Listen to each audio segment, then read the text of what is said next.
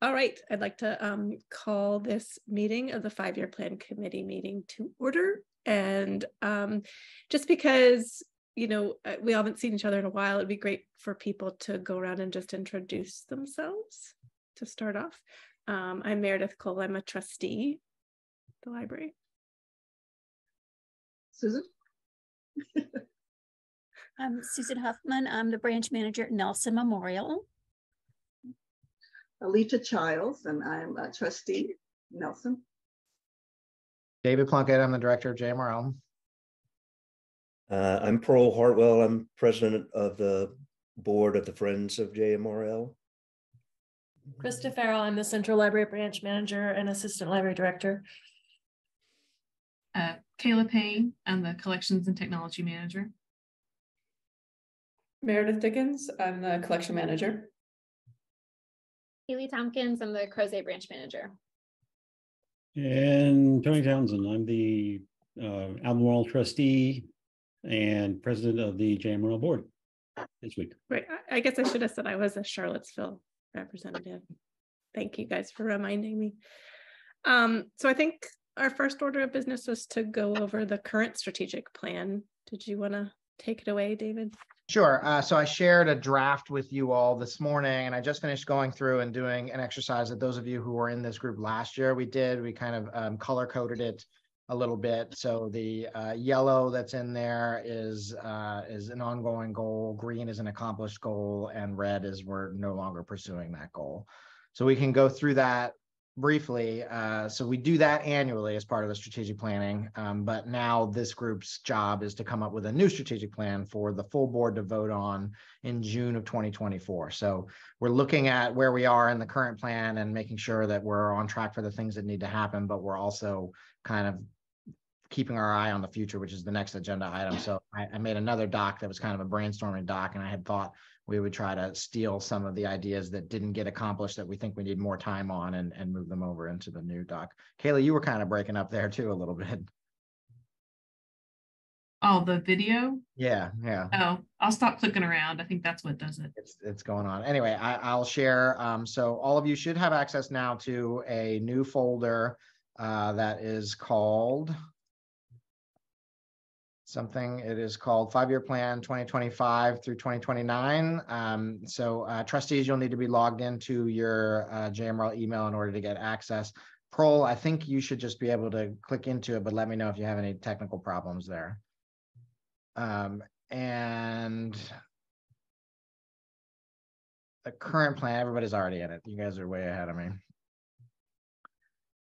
the current uh, the the successful strategy that we have used for the last um, three plans, I believe at least, has been to uh, use these same six goals: a goal of access and outreach, a goal of technology, staffing, collection, finance, and facilities. So we we're not married to that. You know, we could we could change that if need be, um, but that's kind of has worked well to kind of focus our, our work here. And a lot of goals. Uh, there were for goal one, I mean, a lot of objectives, 15 objectives going into, uh, you know, from the old plan. So uh, I don't I don't want to read everything to you all, but let's at least touch on each of them, um, and hopefully it won't take an hour to do that. but uh, goals one, two, and three uh, the first one is the library board will compare service measures to those of state and national libraries. Metrics to be compared include circulation, programming, and funding. I think this is really something that staff can do for the board and present on. So uh, it has yet to be done, but it's not a major thing. BiblioCommons is the tool that we enter the bibliostat information in annually. Uh, the business office and Kayla and Meredith all work really hard on collecting all of our statistics about our services, and we have access to other peer library statistics. And the next one is programming staff uh, in conjunction with the programming committee will use output and outcome data to develop and sustain a range of accessible and representative programming. So um, a lot of goals and objectives for the last few years ran into a COVID wall right in the middle of this five-year plan. Uh, so our programming was largely on hold, sporadic, hybrid, different from what we were used to for a year or two. It is finally pretty much back to full scale programming with some tweaks that we've learned over the years about how to do that during COVID. But I, I'm not sure that we have a systematic response to this objective. The next one was about summer reading, summer feeding programs that we took part in. Uh, each each branch had at least some sort of communication, some more than others. Louisa was actually a um, a handoff site for a while. Uh, you know, I know that uh, in Charlottesville it was more go to areas in which these feedings were happening, and provide other programmings. Uh, I know Susan could speak about experiences in Nelson, but there has been no regional coordination on that. So all three of those are TBD. Creating institutional cards for community partners. This is number four. Um, so this got looked at by the circulation committee and the customer service committee. Um, what ended up happening is that this turned into this idea for teacher cards. So rather than having institutional cards, we offered a greater range of access for teachers. So this one morphed a bit, but it's where it, this is where it started. That's where it ended. Objective five, we added flexible non-registration programming and early literacy story time at each location. That is done. This policy manual review is ongoing and has been ongoing for a while. We've got a good draft of what it should look like, but there's work to be done to make it happen. Policy committee is working on that. This public engagement strategy, this is um, a long time goal here that was supposed to be done in 21 and hasn't been. Um, but it's basically codifying JMRL's public engagement strategy, as it says, uh, and exploring ways to educate new area residents about services. So hopefully we'll have output on that by the end of this year or next year. By the end of 22, evaluate extension services region-wide to assess the need for expansion. This was largely about the bookmobile uh, we worked with the Weldon Cooper Center to get some demographic information, GIS mapped with our card usage. And uh, I, I, haven't shown that to the full board yet, but I think that would be a good CE, Tony, coming up. Um, it shows where there's a lack of card holders, basically, in our population centers, especially, but also in areas without population centers. So uh, we have that data. Uh, we've been sharing it with Louisa County as we're working on them about expanding services in uh, bookmobile services in Louisa, and we'll be working with Nelson County as well. Right now, those both of those projects are in the budgetary stage, so we'll see what gets funded for next year. 22, evaluate methods to provide workforce development. Um, so this largely was based on the success of the um, job fairs that uh, both Northside, Louisa had put on from time to time. The idea was to kind of take that model and move it around the region, and it kind of hit a hole uh, in the middle of COVID as well. Um, so we're still interested in this, but having that large in-person gathering hasn't quite rebounded. and the uh, equity committee is discussing a comprehensive policy and procedure review with the goal of removing barriers to library service. By the end of 23, develop a plan to enhance the role of JMRL in early literacy development, academic achievement, promotion of lifelong learning, network with local, state, and national organizations to foster literacy. The most success we've had here is with Susan in Nelson County, um, which this dovetails into this objective 13 here, develop an institutional relationship with service area schools. So Susan's been able to do that, has an MOU with Nelson County schools that we're kind of treating as a pilot there. Susan, you want to talk about kind of the early literacy night and any other any other thing that's related to 11 or 13 here? Sure. Um, well, we partnered with uh, both elementary schools reading specialists, and last week we had a literacy night that we hosted here at the library. The reading specialist did uh, worked with the parents about skills that they could use to help their children, and the library staff took care of the children. Um, extremely successful. We did Tye River on Tuesday night, which is the Southern Elementary School, we had 125 here. And we did Rockfish Valley last Thursday night, we had 75. Um, as part of that, we have extended ourselves into the school system. We're doing um, monthly uh, story times with each of the grade levels in each school. Uh, we're doing Nelson Reads. Uh, we've been partnering with the high school and middle school to do more with them in their library setting. Uh, we're working on cards for all the children So um, we're going to be doing something special in April with the second grade about poetry and literacy. So lots of things going on there. So um, Susan's really run with both of these goals, but the idea was to do this everywhere. It's a bit harder because we have five different school systems and then private schools and things to work with. But uh, a lot of the what we're learning from what Susan's doing will be scalable. And those were sandwiched around number 12 by the end of 24, increase the number of active card users by 5% over fiscal year 20. So this did not happen. Uh, you know, we are down users since that time. I think Kayla, correct me if I'm wrong, but I think we're around ninety-five thousand now. Uh, I think we've lost about four or five thousand overall card holders in that period. Does that sound about right? Yeah, I think we're at ninety-seven now, Okay. something Good. about that, but Uh, but we're not over where we were in fiscal year twenty. Of course, little something happened right in the middle of that. Uh, but we're still looking to um, achieve this objective by uh, targeting community growth areas. So we're specifically like in Louisa County, looking at the Zions Crossroad area and Ophelia. And Wendy and Catherine and I met last week, and we're gonna go do some kind of same page programming. Um, library awareness events in that area that's it's kind of stuck halfway in between the Charlottesville libraries and the Louisa County libraries, but there's a huge amount of growth there. Louisa last week was named the third fastest growing county in the state. So tons of families moving into that area that'll be looking for services. This doesn't have to be a monologue. Anybody feel free to jump in at any point. Uh, fourteen is done, formalize a partnership with UVA to share library resources. So we have, we uh, started during the pandemic, a local interlibrary loan at no fee for NAJMRL card holders. That's an ongoing project now, although it kind of serves at the whims of the university library. Um, at any point, they could decide they're not getting much out of their end of it. So the only part of this that um, that hasn't happened is the delivery of Hold CVA UVA libraries and offsite account creation. We're still talking with them about that. But right now, the the general idea was that if you needed a book that's at the UVA library in Nelson, you could get it without a cost. It would just you'd have to wait the time it takes to get it there. It'd be about a week or two.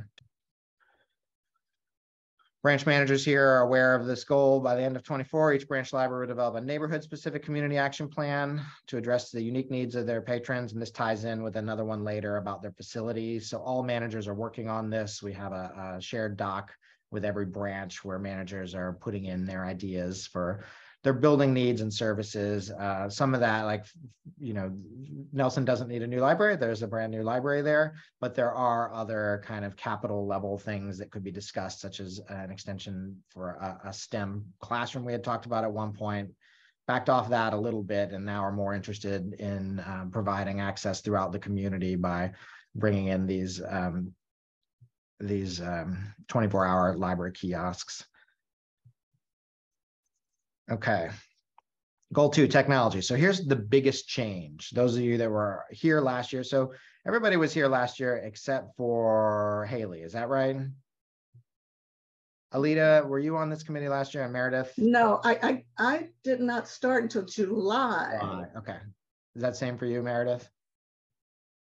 I don't remember when you put me on the committee. I'm sorry. I think I've been to one other meeting. Okay. Uh, so And now I'm in charge, so that's. Now you're in charge charge. thank you for taking up the taking up the mantle here though. So uh, briefly, I'll describe what happened here. This this only had one goal, which was to follow JMRL's technology plan. And then we had a lengthy technology plan as an appendix. Uh, the technology, the board technology committee was interested in establishing some high level board goals here. And then um, having staff having a staff document that would be here's here's what staff needs to do in order to meet those. So, so the original five-year plan that runs through 24 just had one goal here that says meet the technology plan, then had a whole appendix, which was a technology plan. So uh, Kayla worked on this with the staff technology advisory committee, brought it back to the full technology board, and this revision was made last year. I have to say, I'll put in a plug now that I really I like the way that this ended up. And I see this as a potential uh, blueprint for our next strategic plan for the whole library system. There's a lot of detail in this plan, which is great, uh, but it's a board level document in the end. It's the library board saying to the community and to the library staff, here are the things, here are the broad level things that we want to accomplish. So this is a bit more succinct than what we had in this current plan and a bit broader about here are the overall goals and allow some flexibility for how to get there. This is my plug for that.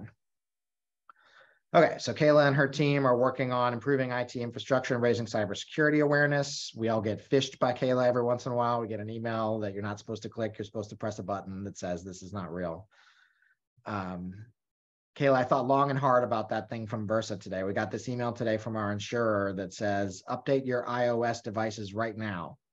Your Apple phones, iPods, iPads, things like that, because there's a security thing out there. And I thought, is this Kayla trying to trick me? Because this is really good. but it wasn't, it's real. Update your iPhones. Uh, so this is an ongoing project. We're using a tool called KnowBe4, um, which a lot of other organizations use, including the city, to work on the cybersecurity end of this. By the end of next year, evaluate the current public computing setup, provide a formal recommendation for the future and total number of public PCs available. Uh, potential proposals could include desktop virtualization. I think we're backing away from that idea and instead looking at an idea to have these kind of mini mini desktops that only require uh, a monitor and a keyboard. So you can keep the monitor and keyboard forever and just swap out the little mini desktops. Uh, Kayla's working on a pilot for that. Continue continuing uh, support continuing education staff training needs, uh, develop incorporating a virtual training platform with video storage. So we are now using a tool. We just got it and are working on it called Niche Academy for that. Uh, it'll it'll both support staff training and then uh, eventually host our virtual programming as well for the public. IT department will support programming initiatives with library staff, including digitization, augmented and virtual reality programs, assisting patron content creation with technology-driven services. So we're working on this. This is tied in, I think, um, at the main library with some changes uh, to the former Monticello Avenue Computer Lab, which we're going to re-envision as this digital media center that offers some of these to the public. Hopefully, though, we will also have some that are easily portable that either if a branch can't, doesn't have space to house them, we'll be able to get them out to a library that wants to use them for a set amount of programming or a certain time. Number five here, explore improvements to branch facilities, phones and networking infrastructure, expand wireless, secure after hour holds lockers and book vending machines are some ideas to increase access. So uh, a lot of progress here. And we could call this done if it wasn't for this book vending machine. So um, Susan and Alita and I have high hopes that uh, next fiscal year will be the first rollout of one of those at a place to be determined in Nelson County, but probably in Ford. to determined, but likely in Nellysford. Okay, um, and the last, see, these are broader goals that, says, you know, like, here's what we want. We want to increase access and here's some ways that we might do it rather than saying you have to have a, a book uh, uh, mending machine there because we know that that, you know, might, may or may not happen next year. High hopes, but maybe not. And the last tech goal is about uh, our digital presence, offering new technological services for the community. And this includes a complete website redesign um, making good progress here, got held up with the move of all of our resources to a brand new server. Uh, we're expecting completion last summer of migrating all data from both the classic catalog, uh, the um, I'm sorry, the classic website, the Find It catalog, uh, the beta website, all of our in-house tools like our intranet and, and meeting room booking and things. Uh, just finished the last migration of that the other day where all the data is now on the new server. So finally at a point where um, something our digital services coordinator has been looking for for a long time. We'll have a true development environment for our website. So before that, it was kind of work on stuff and then post it live. But now there's a place that is a, like a staging center, basically, where we can begin to update things and then push them out into development, um, which is a very, you know, that's the norm and the standard for these things. It's just not something JMRL has been able to do until recently. Okay, staffing.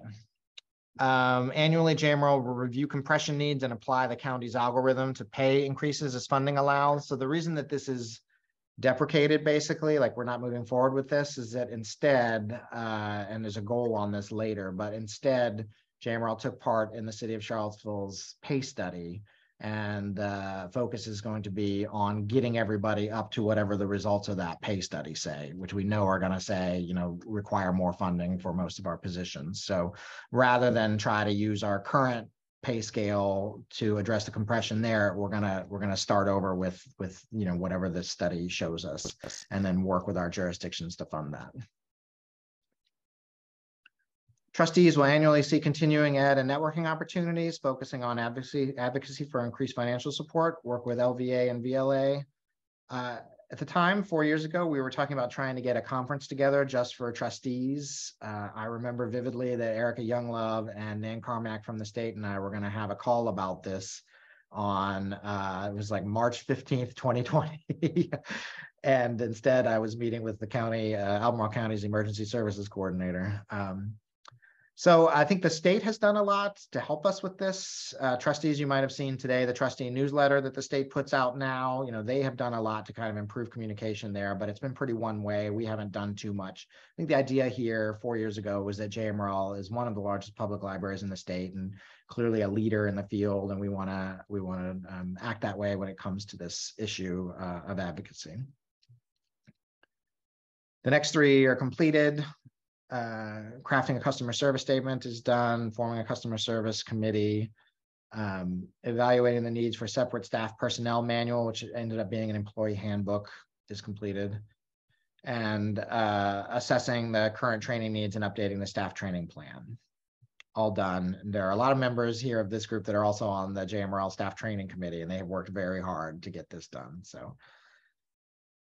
uh, assess the needs at branches for ad- adding staffing to provide additional evening and weekend hours. So we haven't added any hours since uh, I think it was fiscal year 20 when we when we accomplished this goal at the bottom here, objective nine, um, 48 hours per week at Louisa and 60 hours at Northside.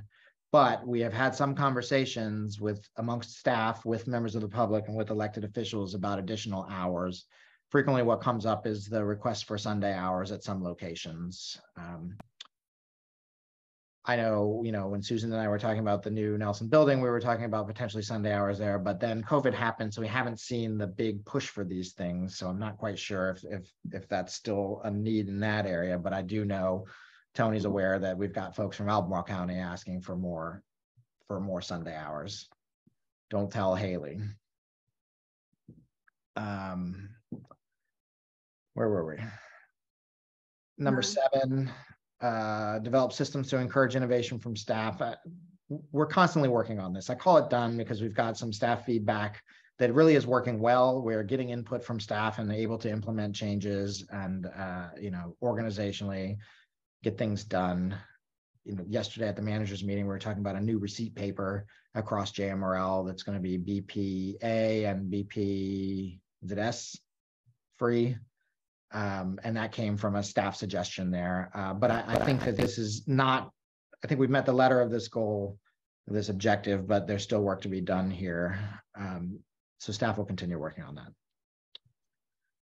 The equity committee has been working on a diversity plan uh, that uh, is pretty much, I shouldn't say pretty much done, but uh, a lot of the work has gone into it. It needs revision and um, needs some editing down likely secure funding to add those hours to meet the former state standards. The state no longer has those standards. So that's done.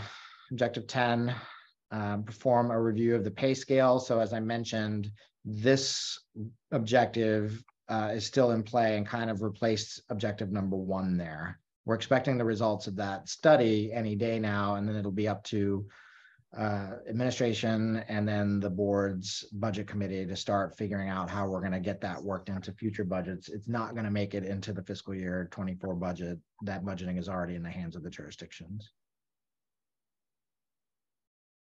Um, develop and implement a staff cross training plan. So this came from the training committee. Uh, Susan spearheaded this staff cross training. We're in the first year of this. It's going swimmingly well. Uh, it's been great experiences where every staff member has gone and done circulation cross training at another branch or department.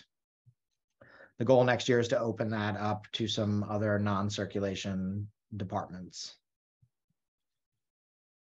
review um, the employee assessment process. This is an ongoing thing. Uh, we've been working talking about internally quite a bit. Uh, there's been some um, turnover at the city of Charlottesville in the HR department, but they've got a, a stable situation now with a new director. I think now's an appropriate time to talk to them about what they're currently using, especially as they start to implement their new salary scale. Uh, we want to make sure we're lockstep with that. And then the last one is by the end of twenty-four, our staffing should meet or exceed the EE standard of 0.5 full-time employees per thousand people. So I did some napkin math on that before we, we started today. That would be hundred and seventeen full-time equivalents.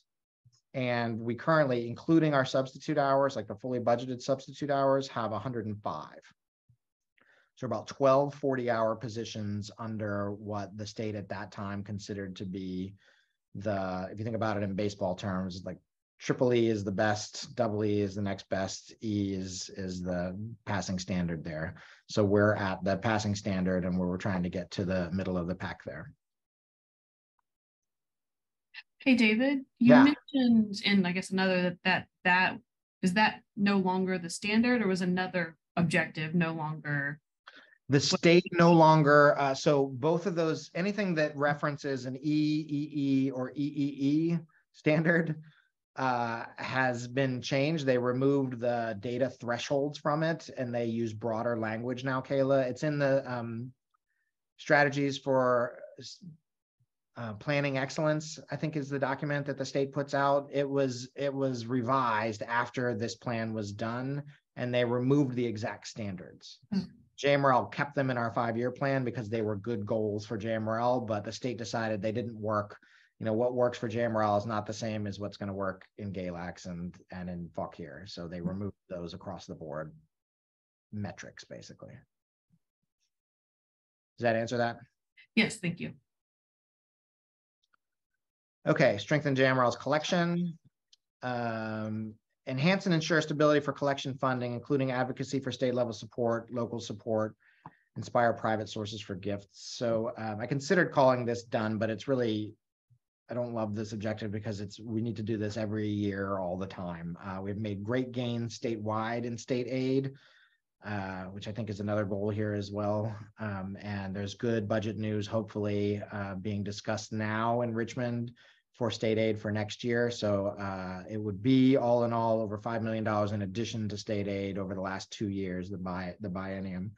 So things are going well there. Also, the uh, Friends of the Library Endowment Fund has discussed supporting the collection uh, annually with additional funding.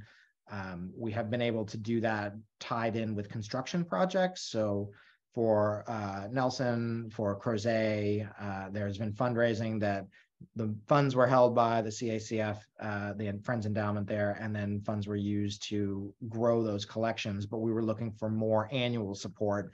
They have agreed to do that. It's just coming up with the amounts that we need moving forward. So um, we don't want to rely entirely upon, and, and, that would never work. We couldn't afford to rely entirely upon the Friends to to uh, float the materials budget for JMRL, but certainly they can help support it while we continue to work on state aid advocacy.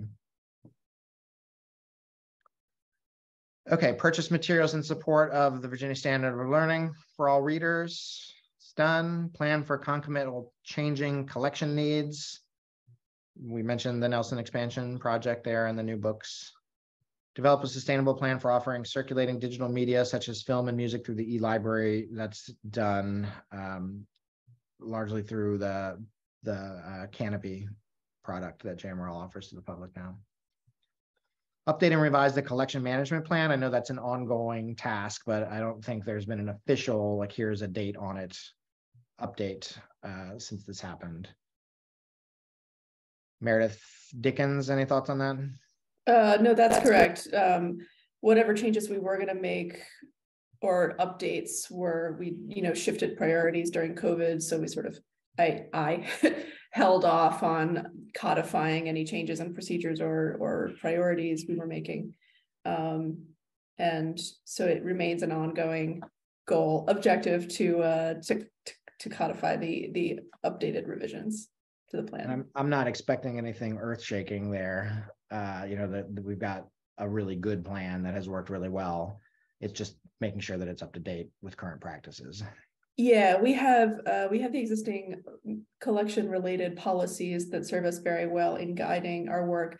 And the plan is mostly just a documentation of our workflows and priorities. Um, and so that's, that's happening on a day to day. We just, we, I, I think, I do still want to have it written down. Um, but it's a continual revision. Um, using benchmarks from a long time ago now and collection data gathered ever since then, evaluate foreign language and English as a second language learning materials available. So this is another ongoing objective uh, that, you know, our data, all of our data metrics from fiscal years uh, 20, 21, and 22 are skewed, and it's going to take a, a few years for us to figure out how skewed they are. Like, what is what is the new normal, right? What is the return to to uh, normal usage patterns there because things changed. So I, I imagine this is one that we'll want to pin and come up with some sort of new version of for the new plan.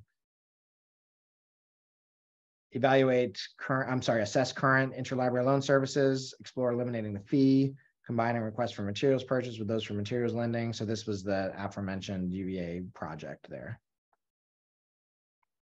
And the last one was explore and evaluate alternative pricing and licensing models in the digital marketplace. Uh, for example, cost per use. So yes, we looked at this constantly, but the the conclusion that I and Meredith, don't let me speak for you, but the conclusion that I think that we reached was that uh, that we were limited in the products that we could offer to the public here, and that um, we didn't we weren't going to be able to build a new lending model for public libraries nationwide.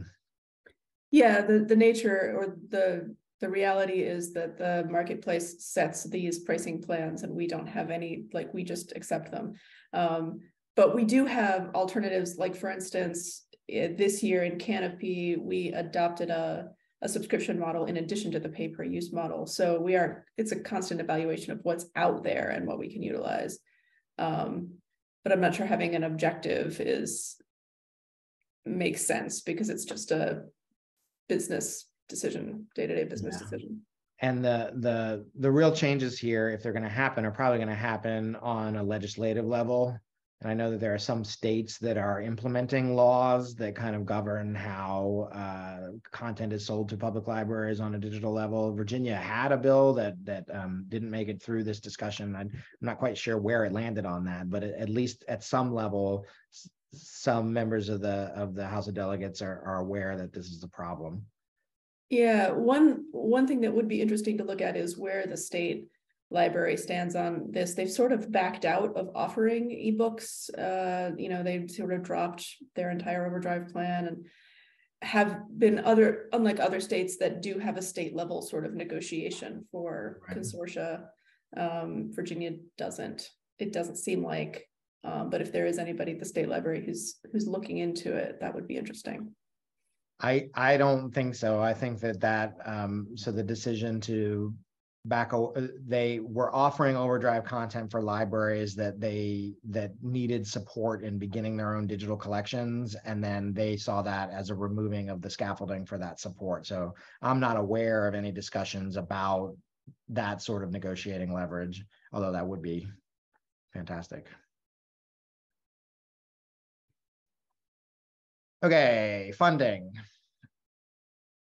Effort to increase state aid to one hundred percent of the amount mandated by the state code. Still not there. Um, but if the money comes through this year, uh, we'll have made, I think, a fifteen percent increase in the last five years there. So it was at under, under, uh, it was around fifty percent for a really long time. And I think we're approaching seventy percent. Uh, Tony will know how bad it was, you know, fifteen years ago. So great strides are being made, a lot of support at the state level for state aid for public libraries. Um, and uh, we work very closely with the legislative committee uh, at the Virginia Library Association that I'm a member of to kind of advocate for this annually. Every once in a while, trustees, I'll send you something that says, hey, can you sign this letter that's going out to your elected official uh, to ask for an increase here? Um, so we're never, I, I shouldn't say never, but I don't see a future where every year it's hundred percent funding here, so we're constantly going to be advocating for this. But there have been great strides made in the last five years. So this um, next one, back to Kayla's point about this funding, the funding standard defined by the Library of Virginia is no longer in place there. They no longer offer a metric to use there. Um, but uh, we can still highlight uh, services that can be provided with greater funding. We have made some strides with increases in funding uh, in in our um, outlying jurisdictions. Uh, specifically, we we're able to get another position added in Nelson County thanks to Susan's work there. Um, done some work in Louisa on the same front. Um, so a lot of that comes down to staff you know, when we're talking about funding for library services, a lot of it is bodies to help people out. So this is an ongoing goal as well. Annually, we do utilize goals and objectives from jurisdictional strategic plans. When I send an email to each jurisdiction saying, here's our request for next year, I make sure to reference the plans that they have and how JMRL aligns with those. Number four there, we are currently exploring alternatives to the out of area fee that jurisdictions charge to non-residents. As a reminder, this is codified in our regional agreement, so it is not up to JMRL. The JMRL board has uh, on record expressed that they would like to see this go. They think it's a barrier to access. Uh, the uh, review committee of the regional agreement is still meeting on, on a five-year schedule. It's mandated, and uh, the process began in the fall largely to discuss this out of area fee the first plan that JMRL put forth was to um, remove out of our area circulation from a calculation of regional costs, and it doesn't look like that one is going to work. Um, so we're we're on to plans B and C here. So this is an ongoing project. I, I had moments of of hope a month or two ago where I thought that there was a good chance that we would be able to remove the out of area fee. Now it's less certain. And again, it's not JMRL removing the out of area fee. It would be up to Charlottesville, Albemarle, Greene, Louisa, and Nelson. Okay, the next one, develop a fundraising plan and annual calendar. Uh, this is a, a sporadic thing. Uh, we need to work closer with the friends on this. Individual objectives should include raising awareness for annual giving, solicitation of major gifts, support for our materials budget, things like that. So I think we need to develop some promotional materials and then come up with a, a strategy long term here. And AJ is working on number six is restructure deposit transmittal forms and procedures to isolate revenue received exclusively from fines and run a fiscal analysis. So we the goal in here had been explore going fine free. And then we realized that we weren't collecting data in a way that was going to tell us exactly what that would mean. So uh, last year, this group presented to the full board a change to this objective number six to say, well, let's get these things cleaned up and then collect the data so that we can make a recommendation to the board. Okay, last one. You guys are doing great. Facilities. Work with Nelson County and implement an expansion of the Nelson Memorial Library. Um, done this working group of trustees, staff, friends, community members, and Charlottesville and Albemarle staff to advocate for the renovation of the central library. It, it hasn't happened this way. This was the envisioned uh, plan here, and uh, it has instead been a lot of individual dealings and discussions with uh, elected officials and staff members from both Charlottesville and Albemarle. The building is co-owned by Charlottesville and Albemarle. Uh, I think we have more discussion between both bodies now uh, than we have had in many years about this project. Both groups of elected officials are aware of the needs here. The two jurisdictions are speaking to each other about it. Uh, the, the last we heard was from a Charlottesville budget report in which uh, City Manager Rogers said he spoke to County Administrator Richardson about this and that the county did not have it as a priority at the time, but they would review it so that's where we we are now. I, I do call this some progress. Uh, Tony wrote an impassioned letter to both bodies last fall that I think made a lot of sense, and uh, we will capitalize on this forward momentum, even if it doesn't make it into a capital improvement project in the next few months here. Inventory all signage. So this is a long-standing desire of staff here. We've got kind of um, signage grows organically around branches you know some of it comes you know when you're doing a building project there might be signage that comes as part of that some of it comes as things pop up Lord knows during COVID, we had a million different sign, every two weeks, there was a different sign to come up to explain to people how they could access library services. So uh, we're looking to uh, have our PR specialists inventory the signage and come up with a plan to get it together. We have had uh, uh, staffing change there and um, uh, still getting up to speed on this one. Timeline to create a drive-through book return and pick up at Gordon Avenue uh, is done. This part, uh, the the project's not ready, but the timeline is that it's beginning at the end of next month and should be done by summertime. We still need a parking study for each location, objective five. And we still need to work with the county on exploration and planning for a southern urban library.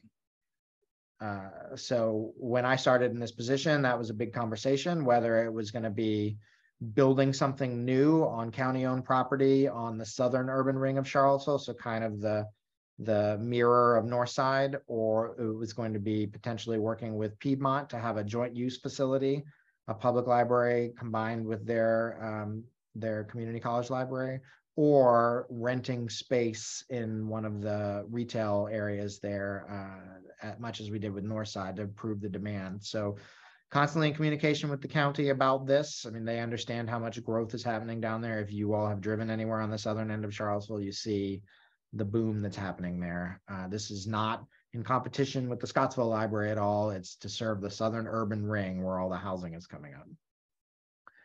Ultimately, that's going to be the county, Albemarle County's decision on when that should happen. Their previous 20 year comprehensive plan included plans for a library on Pantops. Uh, so they have broadened that discussion to be kind of the broader bottom part of the Charlottesville urban ring. And the last one here, it goes hand in hand with those strategic plans that each branch manager is working on. So it's services and facilities.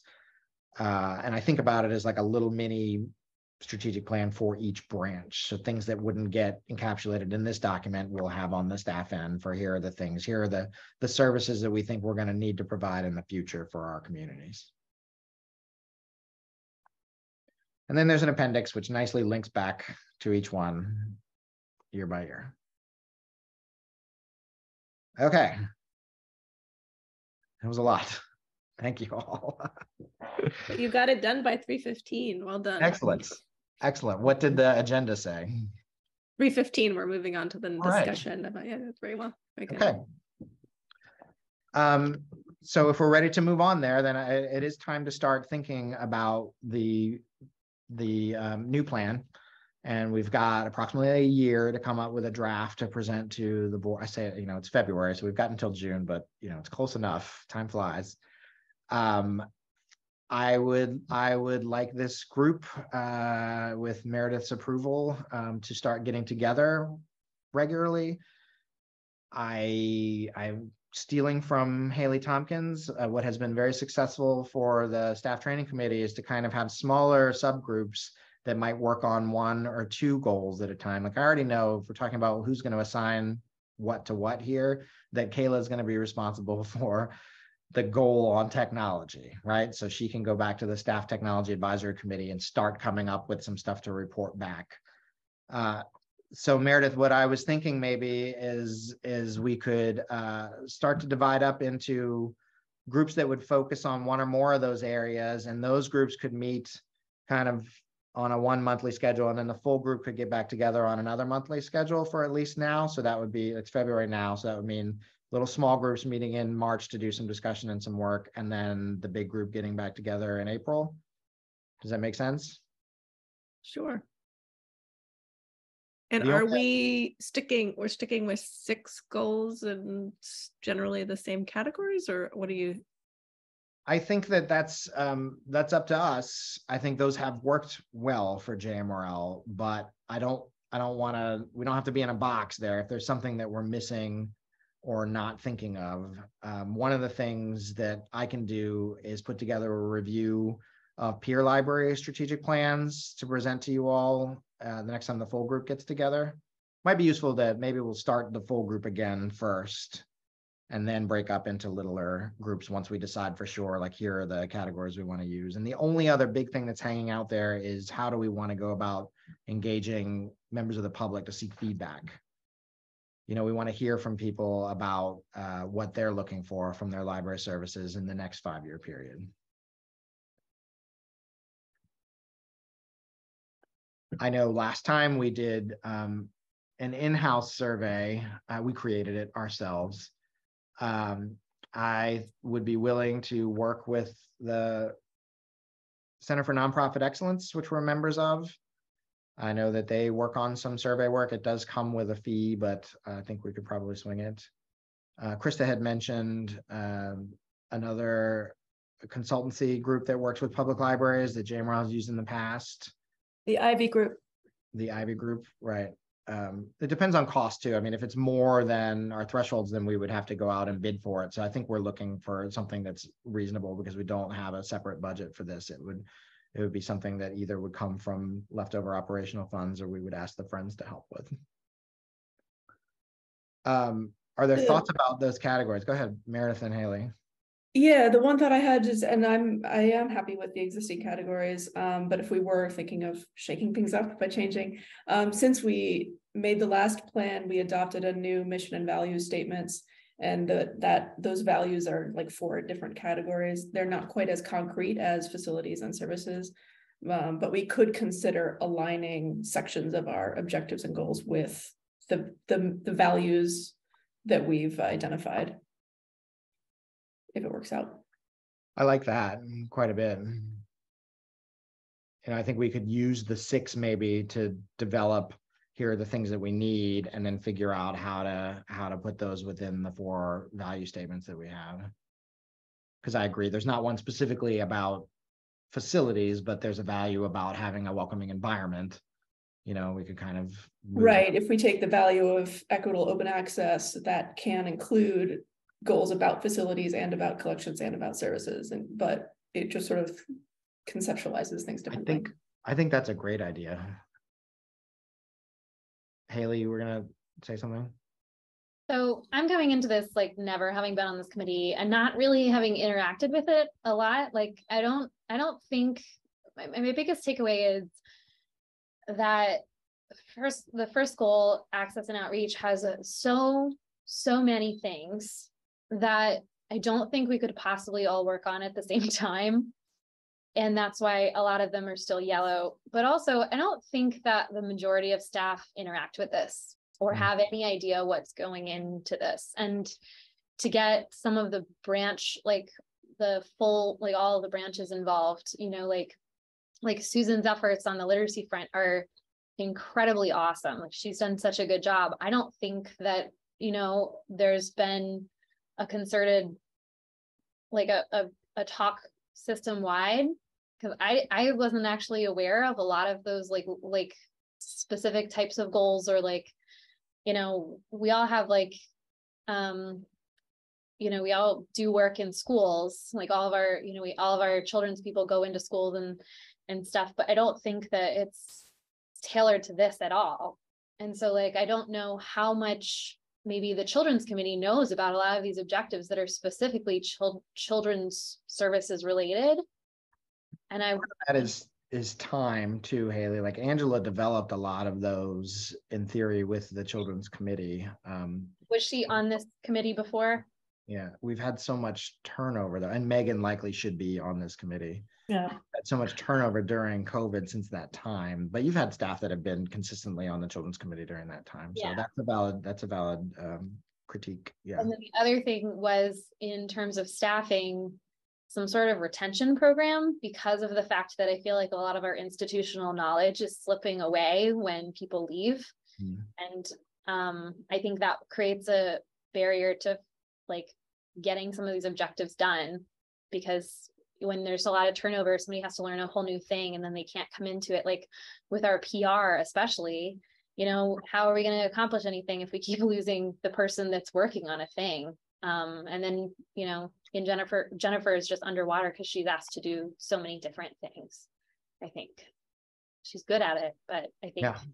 you might need an assistant to get what she needs to get done done sometimes Yeah, I mean, I think that that that could align that could be an area that we would try to find some goals for. But this, what you're talking about, I think also goes in with what I started by saying is that like the specific, the specificity in the last goal is probably more than we're looking for, because really this is the board statement to the world of here's what we want JMRL to do, not the specifics of like, oh, we want Nelson to have a book drop on the on the south end. You know, Tony always jokes about how he got on the library board because he wanted the book drop. What was it, Tony? You wanted the book drop at Northside moved or No, I just, I wanted a sign at Northside that said, please wait here for next available clerk. there you go.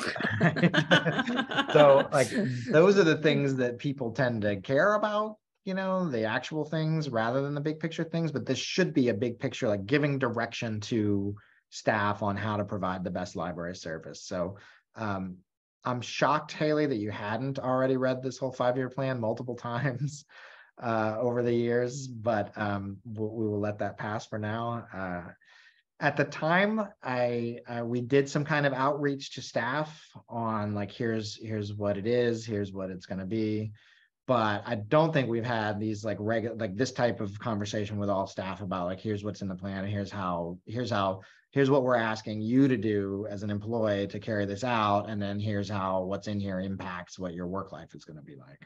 So It those are- sounds like you need a really splashy rollout when you get the next five-year Yeah. plan into place. that's Um, great. And as the chair of this committee, you're responsible. T-shirts. David, David, one thing I- I wanted to mention was Yeah. in a previous life, when I, I, I did this before, um, we did use the Ivy Group for, um, a, a, you know, basically a, a customer survey going forward with the five-year plan. I gotta say anecdotally, and I, I may be misremembering that, I don't think we got a lot of value for the money. Um, it was, it was fairly involved, fairly complex, um, and as I remember, costly. Um, and I don't remember that we got really any, any, you know, input or um, insight that we didn't have before. Um, but that maybe it's just been, you know, back then, could have been the Ivy Group, the Center for Public Excellence. Is that what we're talking about? Nonprofit. Nonprofit excellence. I think might be worth a try. Um, you know, let's let's maybe give give somebody else a shot at this type of thing. So Well, I've surveyed customers before, and I think, you know, I mean, we could do a homegrown one with just Survey Monkey. The question is, how do you get somebody to fill it out? So, you Right. know, uh, and they're going to run onto the same problem, which is to say, if I'm coming to use the library as someone with a card, I don't necessarily have a device that will then, you know, scan something to do a survey. And why should I stay and do that? You know, right. unless I'm really have a bone to pick and I want a sign that moved, like Tony, um, and don't want to join the board to do it. So I think they're they're all going to run into the same issue. The question is, is this something that we need to do to dot an I and, and, and cross a T, or is it something that we really passionately think we want to gather info from the public? And those are sort of two separate boxes in my mind. So Yeah. th- that would just be a, a question of where are we at the end of this and and how much Yeah. do we feel that we need to talk to the public? And, or how much do we feel like staff is talking to the public? I mean, I would, talking to the I would. I would much rather be, you hear, hear from staff actually than members, members of the public. Um, I'm a, you know, I'm a cynic about surveys in general. It's Meredith, don't close your ears. Um, but, you know, I, I'm, I'm a cynic about how surveys are, are loaded by people who want to respond type of thing.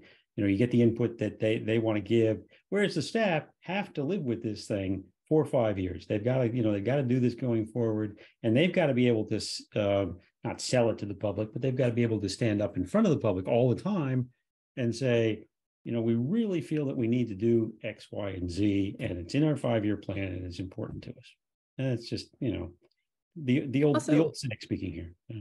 also i feel like um just what sort of meredith was talking about is if we align it with our values then we're not saying we want the public to respond to where we are right now we're saying we want to go in this direction and it's really hard for the public to say oh yeah that direction because they haven't been there yet so that so Right. I- that's a little bit of a challenge too Yeah, yeah, definitely. I do feel though, that- sometimes, uh, sometimes when I. I, I get, a- get these, um, these surveys, I was like, yes, yes,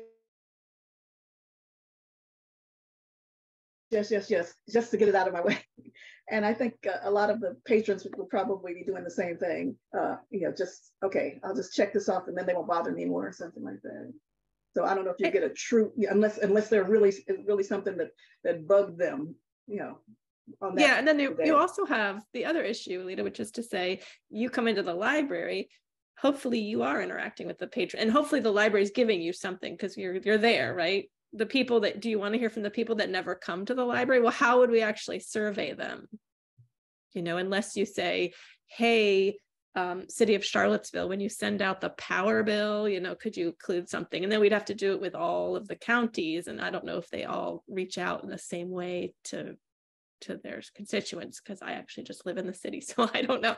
But then then there's a question of uh, then we're using all the, those partners to gather that data about do you use a library or not. But then what are we going to do with that? I mean, you probably, David, already know how many people are using the library. So Yeah, I mean, we've got data on that, but this is the same conversation we have every five years is how do we get the feedback Non-users. that aren't using the library? Because we're pretty well aware, not, you know, not to generalize, but the people that are using the library, we get feedback from and we tailor services towards them. It's the folks that aren't using the library that like how to figure out what their needs are that we're not meeting. Chris, I'm sorry, you're trying to get something. No, that's all right. I mean, that was part of it is we, we can reach other people that are using the library through the patron newsletter, through the people that engage with us on social media. When we ask questions, we get a lot of feedback. We've been talking about this as relates to a new digital media lab, like what, what do people want? We don't want to tell them what they want. We need to find out what they're not what they want you know we we we don't get to decide that.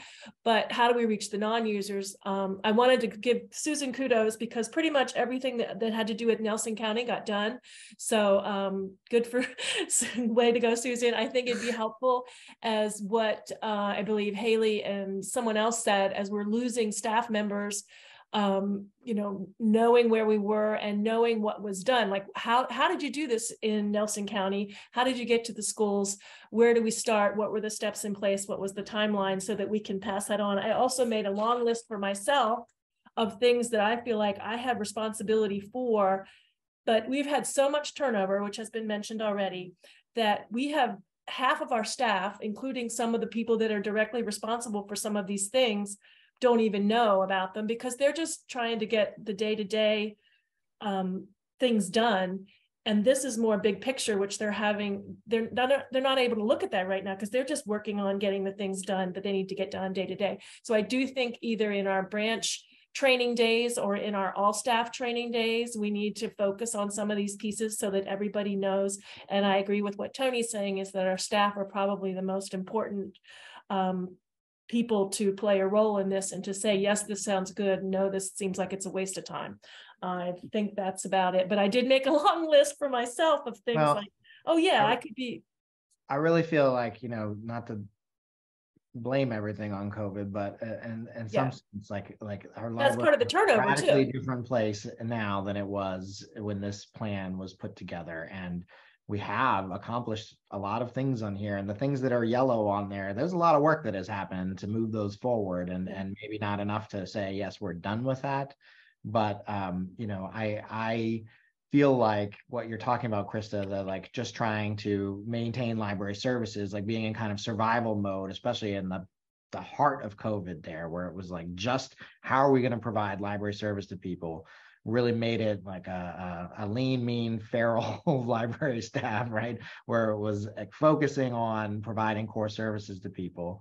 Uh, that that not to say we're we're done, you know, we've got a year left in this current plan, but really I'm looking at a new plan as a way to bridge that gap there and to to you know we've got new faces. Our community doesn't look the same as it does five years Right. ago. Across Right, I was thinking at one, the ESL or the one that had to do with our community, you know, we had the Afghani group here in the library saying that there is now a significant Afghani community in Charlottesville. And that happened over the last five years, Yeah. you know, and, and getting that information to figure that out. Um, I do feel like the, the turnover issue kind of, again, just trying to keep our heads above water. When we're constantly hiring people and we're short staffed, it's really hard to look at the, the big picture when we're just trying to get the desk covered in various locations, which has been going on, it feels like for the last year um, in some places. So I know that's an excuse and we still have to keep moving forward, but I like what what Haley said of something in terms of retention and and planning for vacancies or planning for, you know, loss of institutional knowledge. I feel like retention needs to be one of our goals, David. I don't know. But it kind of ties is. into that compensation study and some of the other Mhm. things that were mentioned um, in terms of staffing. So the training, all those things. Um, I also I thought, so I feel like instead of reaching out to the general public, which especially people who are non-users don't generally know what we do, so they wouldn't know how to help us plan for our future. Um, because they might not know how that library can help them in the first place. I think reaching out to community partners and like heads of community partners, like in the areas would really help us like nail down the the people that we're not reaching and like how i mean so if we were to survey anyone i don't think it needs to be as wide of a net as like the general all of the general public and the people who are already using our our buildings as much as it would be to other like community partners or people who aren't like That's- head community groups that like is that what you're talking about I wasn't part of the group that worked on, Krista, maybe you were, that worked on the uh, strategic plan that did use the Ivy group, but that's part of what they, they did. They identified community leaders in each of our five jurisdictions and they focused some of the, the surveying on them. So it would be like, you know, the, the head of the Historical Society in Louisa and things like that, and, or, or various uh, homeowners associations or whatever it might be. So it wasn't, they did a broad thing, but they also did a very focused thing. I think that's Tony, maybe what you're referring to is didn't, didn't give back all this, you know, new data. Um, Yeah, yeah, yeah. Uh, It's a very good, very good point, though, that, you know, patrons may not be aware of the kinds of things that libraries can offer. Um, and asking them, what, what should we do? They might go, well, keep on doing what you're doing because it's good. you know. Yeah, I mean, I'll say like people that I talk to at the desk, you know, they'll say, "Oh, it must be so nice to just get to sit around and read all the time." And so like they have no idea the other kinds of stuff that librarians do on a regular basis, and some of them do. Some of them see the other stuff that we do.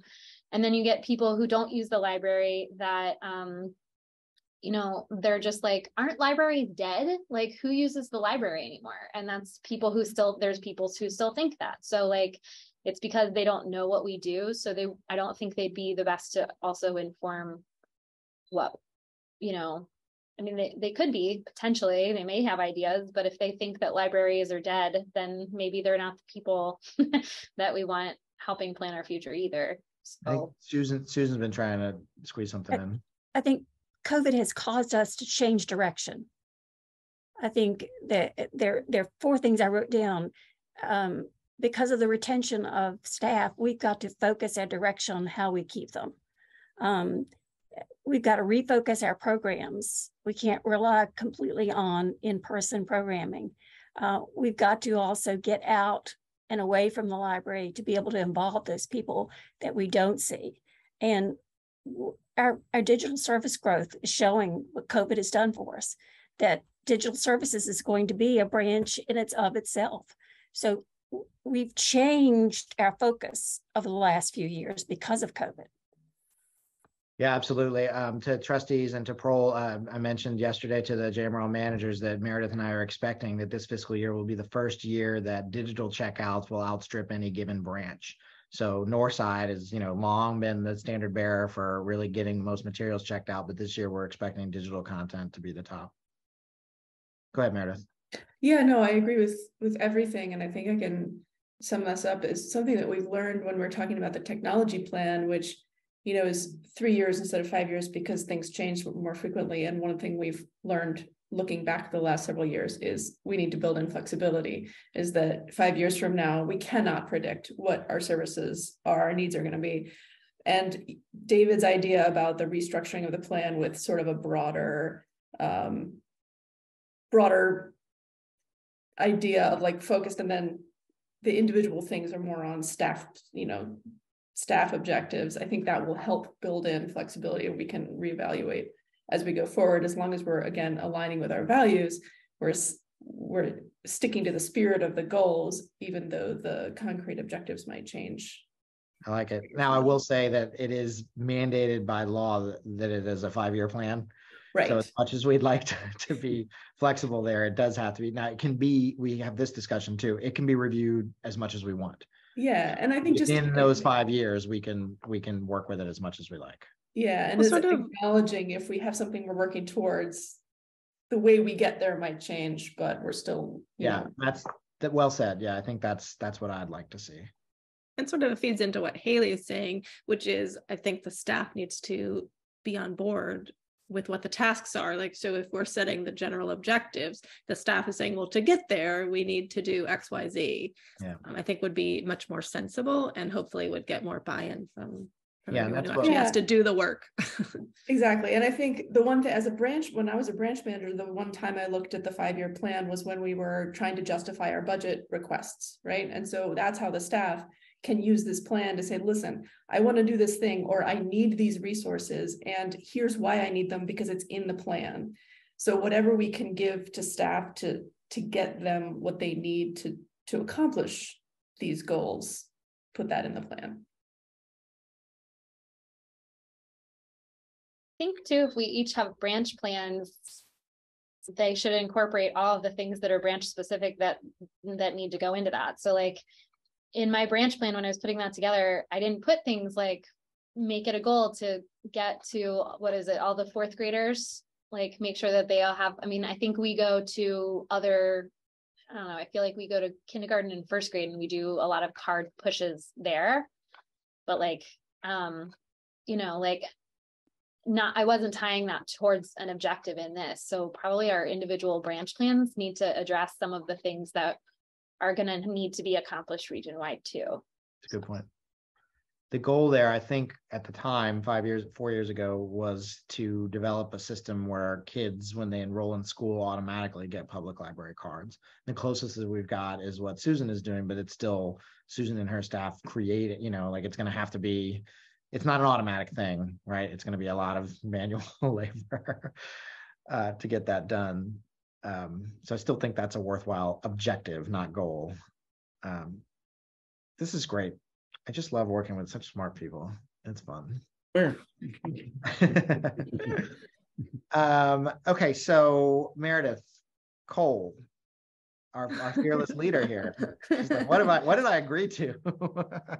This will be fun. So Um, are we not quite ready then to divide into groups, David? Is that what you're thinking?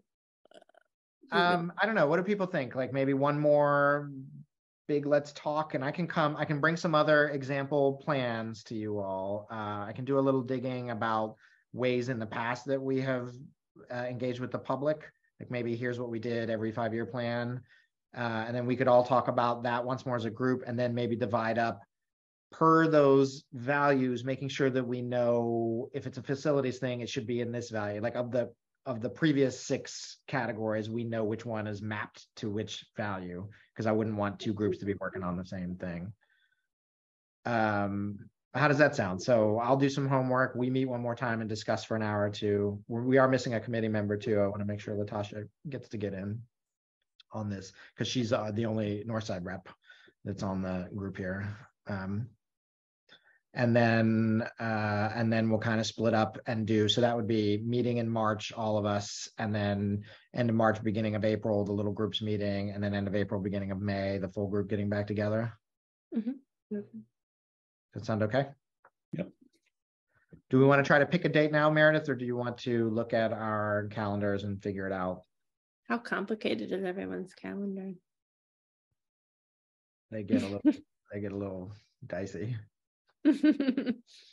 we can we can figure that like, why don't you and i get together and see what works for you and then then um I mean, it doesn't always have to be every single person although it is good and we could also I, I do think it's useful to get together sometimes this is easy for a first organizational meeting but i think getting everybody in a room sometimes makes it easier to instead of everybody has to take a turn to say their thoughts we can just yell all over over top of each other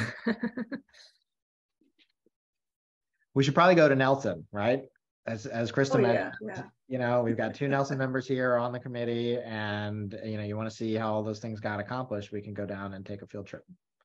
Pearl, how does that sound? Um, All right, well, I think then, so, so I'll do a little bit of homework and Meredith and I will work, Meredith Cole and I will work on a date to get everybody back together and we will try to do that in person, uh, maybe not in Nelson, we'll see what, what makes the most sense.